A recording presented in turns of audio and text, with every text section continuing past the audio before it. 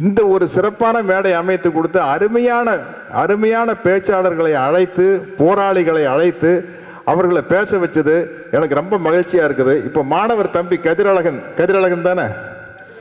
கதிரழகன். பிச்சை எடுத்தார். இது வந்து இப்போவுமே என்னுடைய தம்பி செந்தமணன் சீமான் வந்து அப்படி தான் பேசுவார். பதினஞ்சு இருபது வருஷத்துக்கு முன்னாடி அமைதிப்படை காலகட்டத்தில் உதவி இயக்குனரை வந்து சேர்ந்த காலத்தில் இன்னும் அந்த புலி எவ்வளோ வேகமாக இருந்திருக்குன்னு யோசிச்சு பாருங்க. அந்த ஒரு புலிக்குட்டி இங்கே பார்த்த கதிரழகனுக்கு பேரில். தம்பி கவலைப்பட வேண்டாம். பல பேர் பல பேர் தயாராகிட்டு இருக்கிறாங்க. வங்கத்து சிங்கம் சட்டர்ஜி பேசினாரு. என்ன பேச்சு? எவ்வளோ அற்புதமான பேச்சு. அதில் நம்ம தெரிஞ்சுக்க வேண்டிய ஒரு முக்கியமான விஷயம் இருக்குது. ஒருவருக்கு ஒருவர் உணர்வுகளை ஏற்படுத்தி கொள்ள மொழி ஒரு தடை அல்ல. மொழி தடை அல்ல. அவர் வங்க மொழியில் தான் பேசினாரு. அதை வந்து தோழர் தியாக மொழி பெயர்ச்சாரு. எவ்வளவு தூரம் நம்ம அதை உள்வாங்கி கைதட்டி ரசிச்சோம். இல்லையா?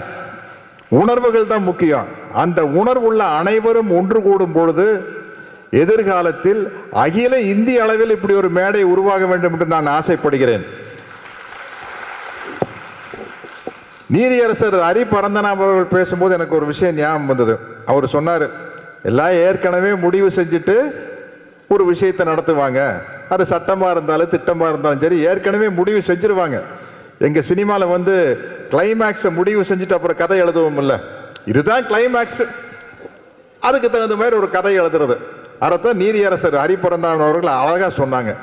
சினிமாலையாவது எந்த கதையாக இருந்தாலும் கிளைமேக்ஸில் ஹீரோ தான் ஜெயிப்பான். ஆனால் இங்கே வில்லன் ஜெயிக்கிற மாதிரி ஒரு கதை எழுதிட்டு அதுக்கு தகுந்த மாதிரி ஒரு ஸ்க்ரீன் பிளே பண்ணுறாங்க பாருங்க. அதுதாங்க ரொம்ப கொடுமை. ரொம்ப கொடுமை அதுதான். இது எல்லாரும் புட்டு புட்டு வச்சுட்டாங்க. இங்கே பேசிய அத்தனை தோழர்களும் அருமையாக பேசினாங்க. நம்ம சகோதரி அனிதா அவர்களை பற்றி பேசணும். என்னுடைய என்னுடைய தனிப்பட்ட எக்ஸ்பீரியன்ஸை அனுபவத்தை மட்டும் சொல்லிட்டு நான் உரையை முடிச்சுக்கிறேன்.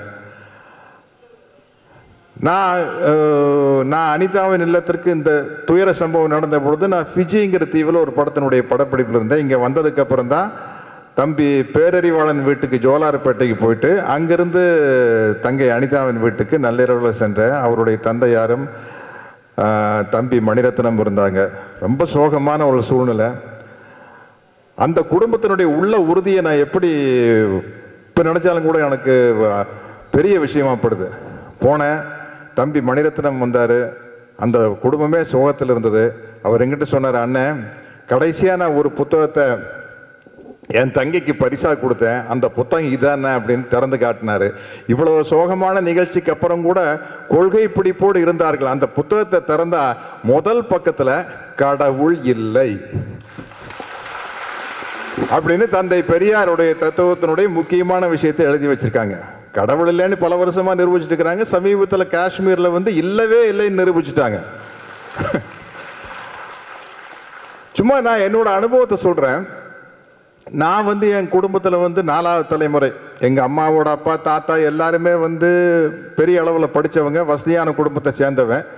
ஆனால் நானே பள்ளிக்கூடத்தில் படிக்கும்போது தமிழ் மீடியத்தில் படித்தேன் பள்ளிக்கூடத்தில் படிக்கும்போது தமிழ் மீடியத்தில் படித்து முதல் வகுப்பு மாணவனாக பாஸ் ஆனேன். ஆனால் கல்லூரியில் போய் சேரும்போது ஆங்கில மீடியத்தில் சேர வேண்டிய சூழ்நிலை ஏற்பட்டுச்சு. முதல் வகுப்பு மாணவனாக இருக்க முடியல ஜஸ்ட் பாஸ் வெறும் தேர்வு அப்படிங்கிற அளவில் தான் வர முடிஞ்சது.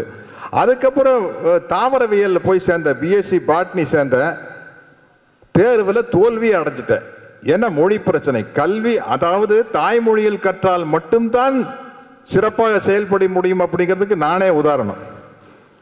அப்போ இவ்வளவு வசதியான பின்புலத்திலிருந்து வந்த நானே இவ்வளவு பெரிய பின்னடைய வருது அப்படின்னா மிகவும் ஏழையான வஞ்சிக்கப்பட்ட தாழ்த்தப்பட்ட ஒடுக்கப்பட்ட இனத்தில் பிறந்த ஒரு அனிதாவினால் எப்படி போட்டு போட முடியும்னு யோசிச்சு பாருங்க. இங்க வந்து மாநில பாடத்திட்டத்தில் படிச்சுட்டு சிபிஎஸ்சியில் போய் பரீட்சை எழுதினேன் அப்படின்னா நம்ம வந்து ஒரு படத்தில் நடிக்கிறதுக்காக நல்லா வசனத்தை மனப்பாடம் பண்ணி வச்சுக்கிற வானம் பொழிகிறது பூமி விளைகிறது உனக்கேன் கொடுப்பதுக்கு எல்லாம் மனப்பாடம் பண்ணி வச்சுட்டு உள்ள ஷூட்டிங்கில் போய் நின்னதுக்கு அப்புறம் தெலுங்கு படம் மறந்து என்ன ஆகும்? அதுதான் நிலமை. நம்ம வந்து என்ன என்ன பாடத்திட்டத்தில் ரெடியாக இருக்கிறோமோ அங்கே போனால் அது இல்லை. இப்போ அதுக்கு என்ன வேணுங்கிறாங்க? அதுக்கு தனியாக ஒரு டியூஷன் வைக்கிற சென்டர்ஸ் எல்லாம் வந்துருச்சு. இப்போ இதுக்கு நடுவில் எப்படி ஏழை மாணவர்கள் முன்னுக்கு வர முடியும் அப்படின்னு கேட்குறேன் ஏன்னா இந்த தமிழ்நாடு இந்த தமிழ் மண் பெருந்தலைவர் காமராஜர் அவர்களால் அனைவரும் படிக்க வேண்டும் அப்படின்னு கொண்டு வந்த சத்துணவுகள் போட கொண்டு வந்தப்பட்ட ஒரு மாநிலம். அப்படிப்பட்ட மாநிலத்தில் நம்ம வந்து என்றைக்குமே மேலே இருக்கிறவங்க கீழே இருக்கிறவங்களை கையை பிடிச்சி மேலே தூக்கி விடுறது தான் ஒரு நல்ல சமூகம் ஒரு பண்பட்ட சமூகம். மேலே தூக்கி விடாமல் கீழே இருக்கிறவனை இன்னும் போட்டு அமுக்கிறது என்ன ஒரு நாகரிகமான சமூகம்? அப்படிங்கிற கேள்வி என்கிட்ட எழுது. இந்த இனத்திற்காக துள்ளி எழுந்து போராடுவதற்காக பல குட்டிகள் தயாராகி கொண்டது பல புலிக்குட்டிகள் தயாராகி கொண்டிருக்கிறது என்பதை மகிழ்ச்சியோடு தெரிவித்துக் கொண்டு விடைபெறுகிறேன். நன்றி வணக்கம்.